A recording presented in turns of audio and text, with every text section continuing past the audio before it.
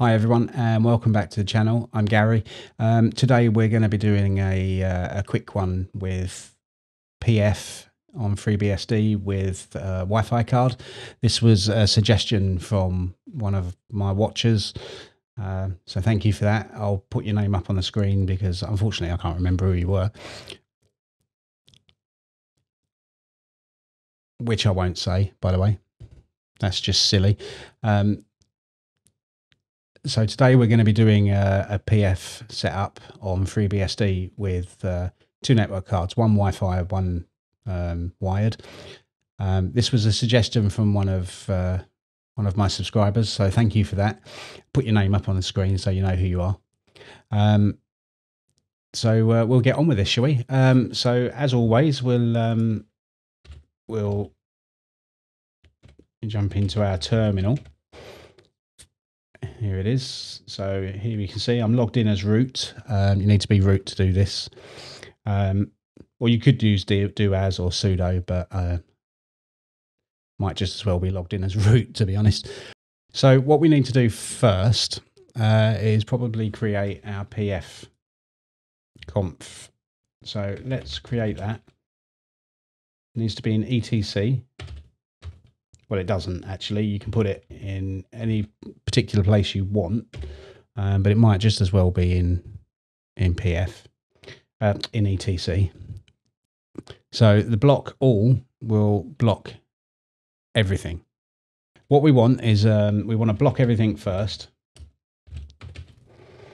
and then we want to pass in proto TCP to port whatever your SSH is on so we don't get locked out.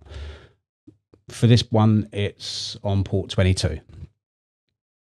Or you could just put in um, SSH, um, which is defined from the etc services file. Um, but we'll we'll we'll just do 22. I like to use port numbers. So that we've got that in, so we can allow SSH into this box. Everything else will be blocked. Um, similarly, everything at the moment outbound will be blocked as well once this firewall is started. So let's add in a few basic out rules. I'm not going to get into the formatting of this too much. Um, hopefully you'll be able to follow along.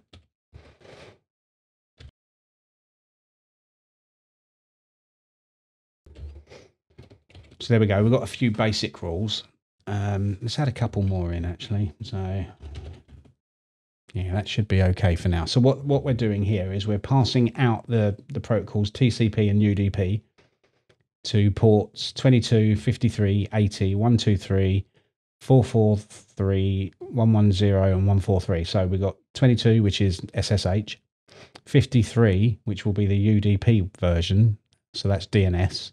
So that allows our domain domain name resolutions to work.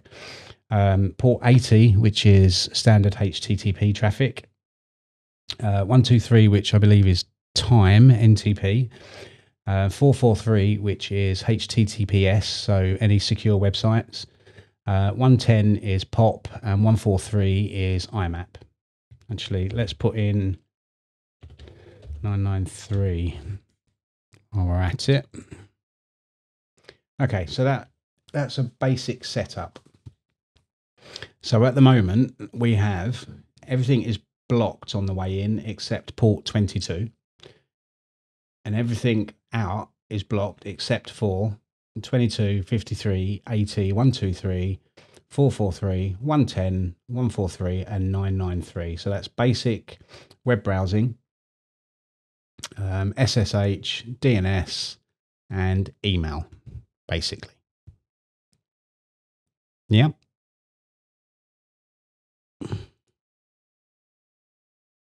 Good.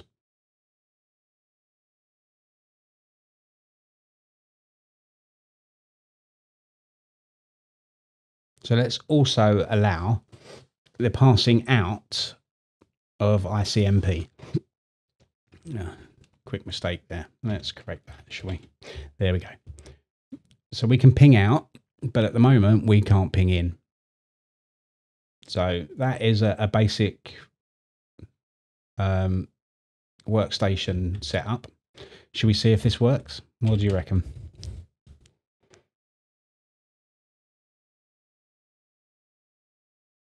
So firstly, let's enable PF.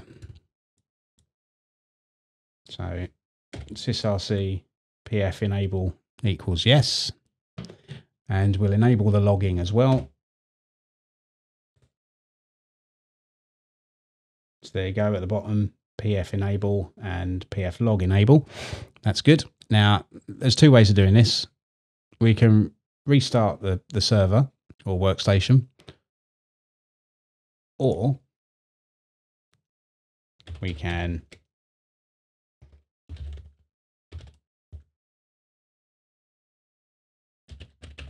which is going to kick us out of SSH. So let's not do it that way. Although, if our rules are wrong, we're locked out anyway. So, heart in mouth time. Ready? So, we'll do a, a shutdown minus R now. Bye bye. And we'll just wait for that to come back up.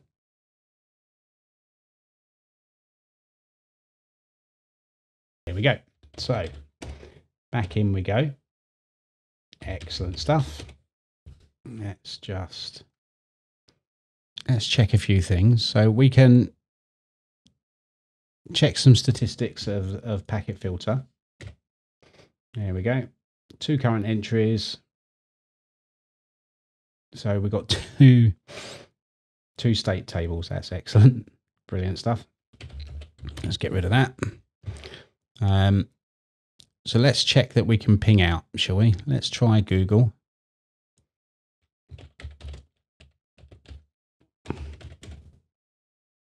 There we go. We can still ping out. Brilliant stuff. Um, let's check that we can still reach the package repositories, which we can because that's HTTPS. Brilliant stuff. So let's confirm that we can't ping inbound, shall we? So let's try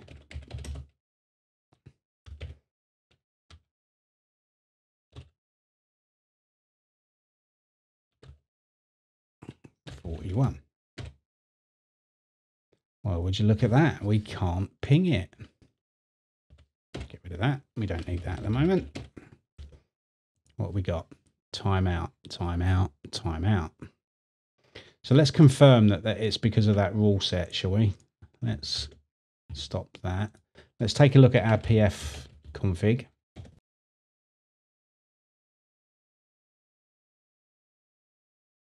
So let's duplicate that bottom one. Pass in inet proto ICMP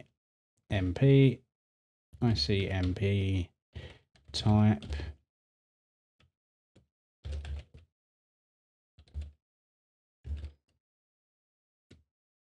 Yeah looks right to me. And let's reload those rules.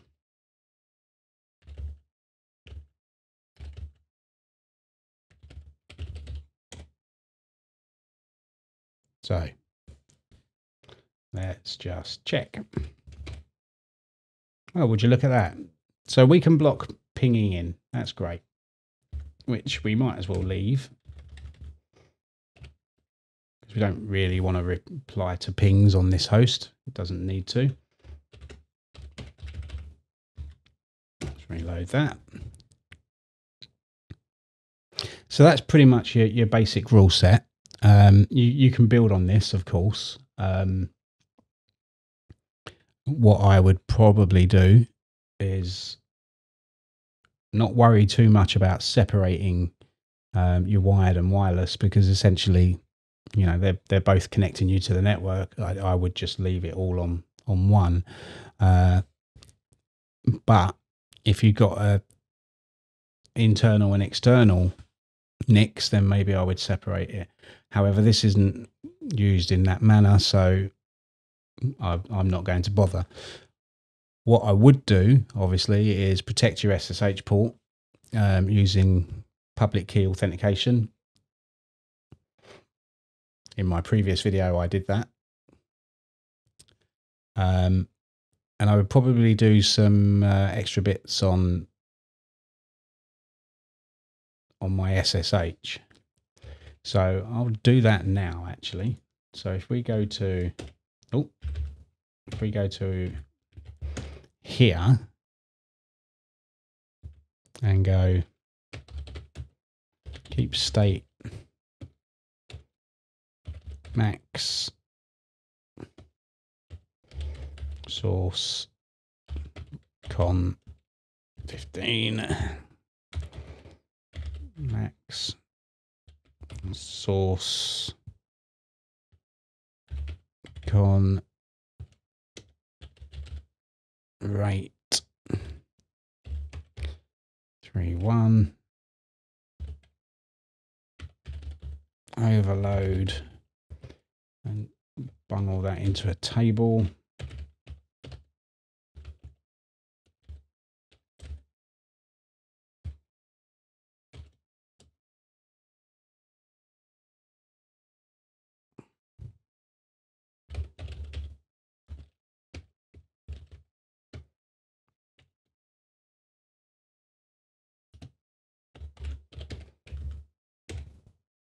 There we go.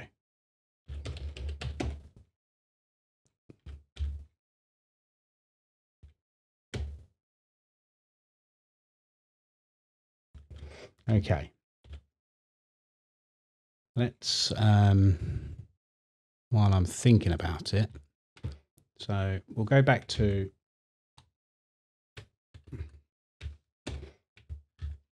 here.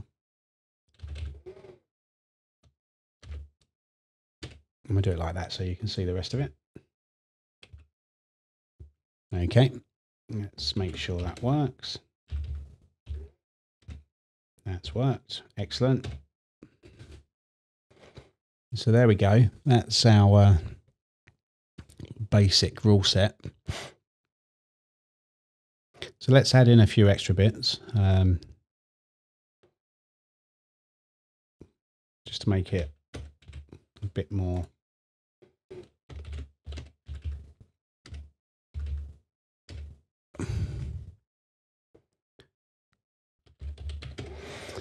Um,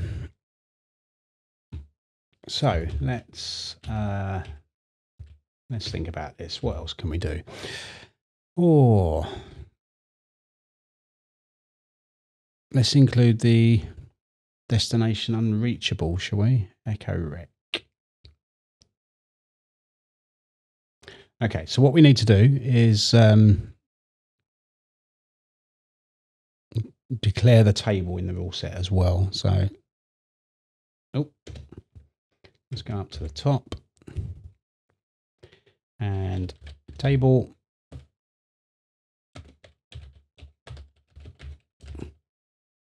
Brute force persist. And for that matter, let's define our ICMP types as well. Why not? So now we have policies in place to handle fragmentation. Let's just make sure. So we're just going to change the uh, ICMP one. where have we got that? So let's change this to dollar ICMP types. There we go. Let's have a quick look at our rule set. So at the moment we've got um, two types of ICMP. So we're doing the unreachable and the echo requests, which is pings. We've got a table that is persistent. That means it doesn't go away on uh, restarting of PF or restarting of this um, instance of FreeBSD, this workstation or server. Uh, we've got everything on the local loopback just skipped. We don't need any rules on that. That's all internal anyway. Scrubbing in all fragments and reassemble them on max MSS, which is the MTU of 1440. You should find that your MTU is probably set to 1500. Um, and we're anti-spoofing quick for WLAN 0. Then we're blocking all, and then we're passing in on the wireless LAN Proto TCP to port 22. Um, we're keeping state with uh, max source connections of 15 and a, a, connection rate of 3 to 1. We've got an overload brute force table, which is flushed globally. Uh, passing in on BGE, blah, blah. It's exactly the same for um, both network cards. I, I, said that we weren't going to do it and split it, but, you know, that's how you would do that. Uh, and then we're passing out the protos that I mentioned before. They are your basic internet protocols for web browsing and email, uh, DNS and time as well. And then we're passing out the ability to uh, ping. So that's a small basic rule set for PF on FreeBSD. Um, hopefully you found this quite useful. If you have any questions, please post them in the comments below. I'll I'll do my best to answer them. Um, and as always, thank you so much for watching and subscribing. It really does mean the world to me. The the, the stuff that I've got going on at the moment, it, it, it's just such a boost. So thank you. You know, you may or may not know I have a um, a terminally ill, disabled daughter um, who has cystic fibrosis, and she also has epilepsy. And a couple of nights ago, she had two quite large seizures. So to see you guys coming back and watching my videos in, in like this is just it, it means so much to me. So thank you all. Um, so please, if if um, if you like this video, give it a thumbs up. Um, subscribe and click on the bell icon to, to get the notifications for when my next videos are coming out. Um, really appreciate that. Um, guys, as always, thank you so much. Please keep coming back. Uh, I appreciate your support. It, like I said, it really does mean the world to me. Uh, and I'll see you in the next video. Take care.